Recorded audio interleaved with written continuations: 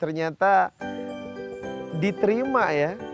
Kata orang, kata orang, MC-nya bagus loh, suaranya bagus, kemudian kata-katanya bagus. Oh gitu ya. Nah dari sanalah saya mendirikan satu unit usaha namanya Riza Management.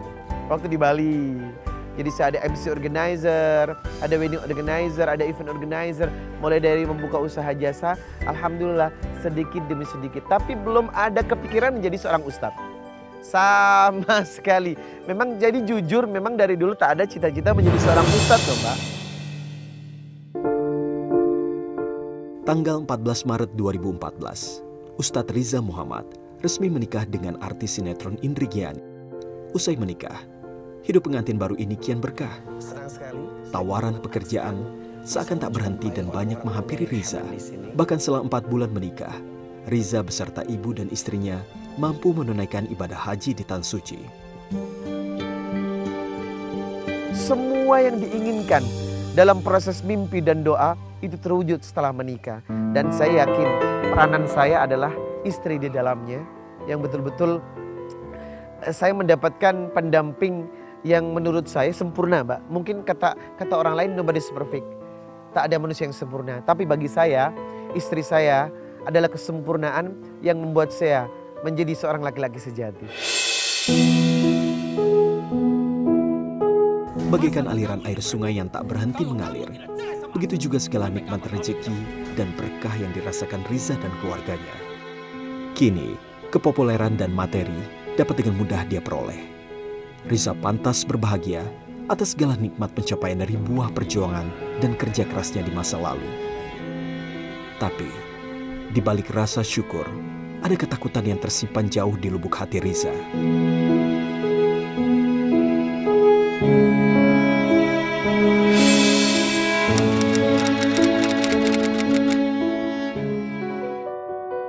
Selama di Bali, Riza Muhammad memang sangat menikmati pekerjaannya menjadi seorang MC atau master seremoni.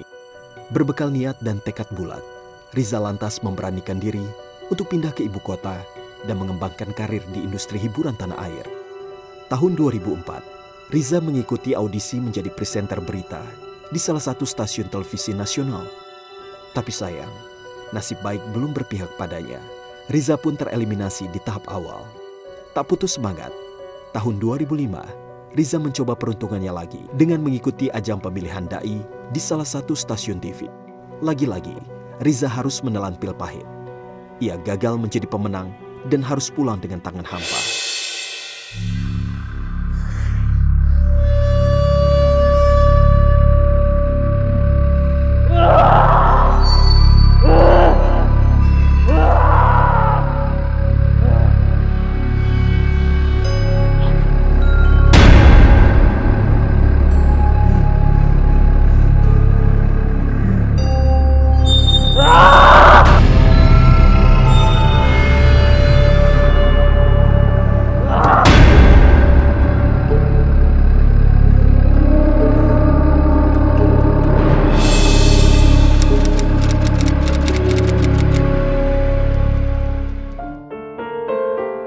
Merasa tak sukses menjadi artis, Riza lantas mendirikan kantor manajemen di Bali. Saat hendak mengundang almarhum Ustadz Uje, Riza justru mendapat tawaran dari manajer artis, yaitu Lady Aster, yang kelak akan merubah hidupnya. Mbak Lady ya? Iya, halo apa kabar? Alhamdulillah kabar baik Mbak. Oh ya udah silakan duduk. Ya, kasih Mbak.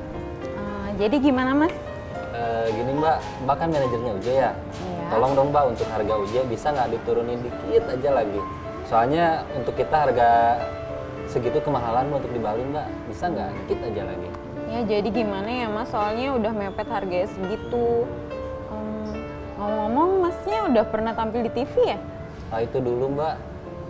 Eh, dulu aku pernah ikutan audisi gitu, dai di TV. Oh pantesan mukanya kayaknya aku nggak asing lagi gitu. Ustadz Riza kan? Hmm, iya Mbak. Oh gitu. Oh kenapa kamu nggak mau jadi Ustadz aja? Jadi Ustadz, aduh gimana ya? Ustadz kan nggak ada duitnya Mbak. Aku pengennya sih jadi artis, cuman eh, dari dulu gagal terus. Ah siapa bilang jadi Ustadz nggak bisa tampil di TV? Gini aja, kamu perdalam ilmu agama kamu, terus kamu mantepin diri kamu jadi Ustadz, terus aku akan bantu kamu untuk jadi ustadz dan populerin kamu di sini. Gimana? Hmm. Oke mbak. Saya nggak ngerti mbak. Jadi ustadz di TV itu itu profesi ya.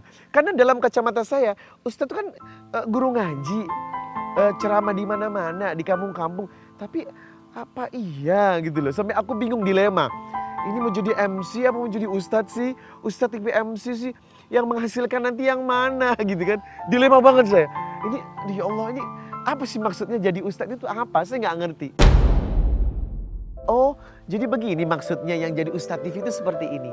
Dan lebih terasa lagi setelah saya membintangi satu sinetron di salah satu TV swasta nasional namanya Pesantren Rock and Roll. Di bawah tangan dingin Lady Aster, Riza Muhammad berhasil memulai karirnya sebagai pendakwah di sebuah stasiun televisi dalam program religi Islami berjudul Cahaya Ilahi. Tak tanggung-tanggung, Riza berhasil mendapatkan job selama 450 episode. Tak hanya itu, Riza juga berhasil mendapatkan peran dalam sebuah sinetron berjudul Pesantren Rock and Roll. Itu titik balik saya dari sinetron bisa menghasilkan rumah, terutama untuk rumah ibu saya. Nah dari sinetron juga usia 35 waktu main itu, eh belum menikah. Orang bilang UTN lu, orang telat nikah. Waduh, akhir benar juga mbak.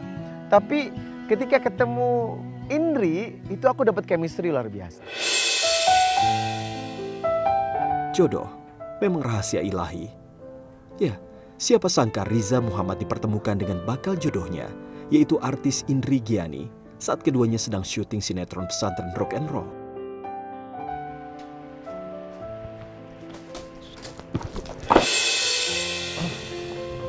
Aduh gimana sih Ustadz? Barang saya kan jadi berantakan. Lihat-lihat dong kalau jalan. Saya bantuin mbak, ya maaf sengaja. Udah nggak usah. Bang apa apa? Gak apa-apa, udah tenang aja.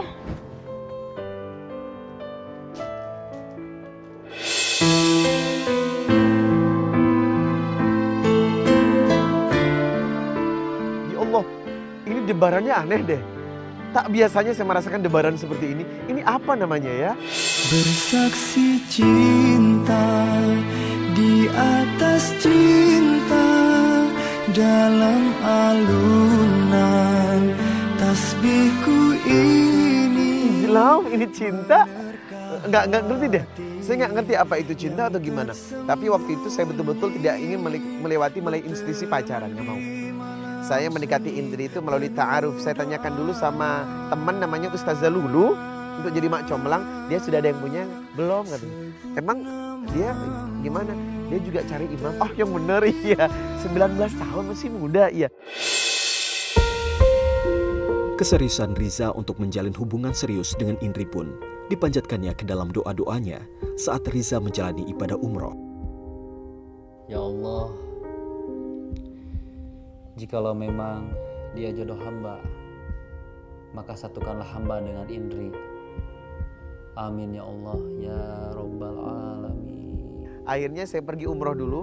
Saya berdoa ya Allah, kalau memang dia jodoh saya, sepulang umroh dekatkan. Wah, sepulang umroh ternyata masya Allah. Saya istikhara, saya ta'aruf, kemudian saya mimpi dalam mimpi saya itu hadir dia. Saya gendong masukin satu rumah. Padahal belum belum nikah. Berarti memang petunjuknya insya Allah ini benar.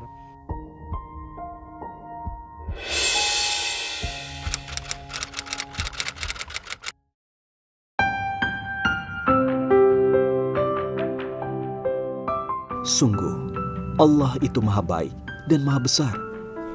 Masa kecil Riza Muhammad yang penuh dengan kesusahan dan kekurangan, kini digantikannya dengan lautan kebahagiaan. Tak hanya memiliki karir cemerlang sebagai pendakwah dan selebritas saja, kini kebahagiaan Riza Muhammad semakin lengkap dengan adanya keluarga kecilnya yang harmonis. Selang satu tahun menikah, tanggal 28 Mei 2015, Riza Muhammad dikaruniai seorang putri cantik yang diberi nama Sulaika Nisaul Jannah Makatul Mubarakah. Tak berhenti di situ, kini selang empat tahun menikah, Riza siap untuk menyambut kelahiran anak kedua yang tengah dikandung sang istri. Walaupun kebahagiaan dan ketentraman selalu tampak di dalam rumah tangganya, tapi sering kali beragam ujian datang dan mencoba memperkeruh kenyamanan rumah tangganya. Salah satunya adalah isu poligami.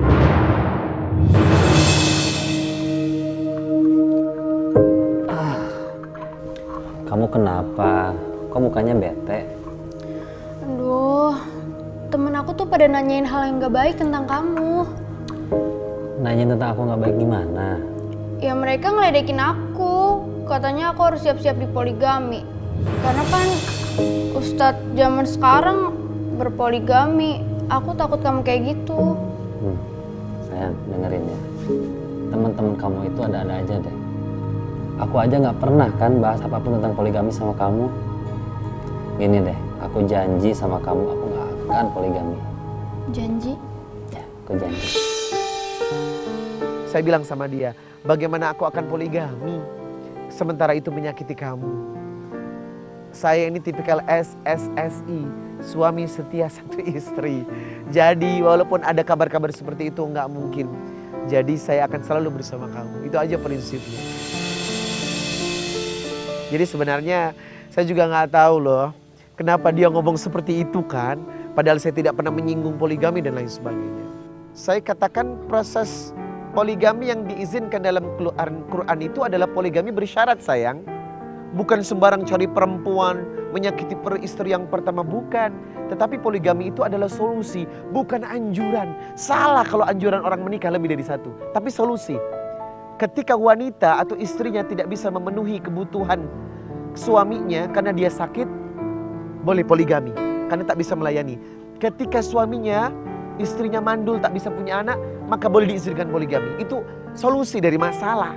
Tapi kalau istrinya cantik, baik, bisa hamil, ngapain?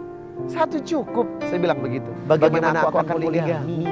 Sementara, Sementara itu menyakiti kamu. Segala penderitaan, kerja keras dan perjuangan akan mendapat balasan yang baik dan setimpal bila kita tetap takwa dan berserah kepada Allah Subhanahu wa taala. Berkat kegigihan dan kerja kerasnya, Kini Riza Muhammad bisa dikatakan memiliki semuanya, harta, ketenaran, dan sebuah keluarga yang bahagia. Sungguh nikmat segala karunia yang diberikan Allah bila hambanya mau hijrah dan takwa kembali di jalannya dan menjauhi larangannya.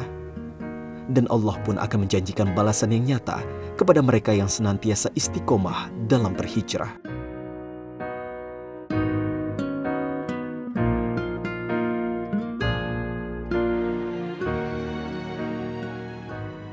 والذين هاجروا في الله من بعد ما ظلموا لنبوئنهم في الدنيا حسنة ولأجر الآخرة أكبر لو كانوا يعلمون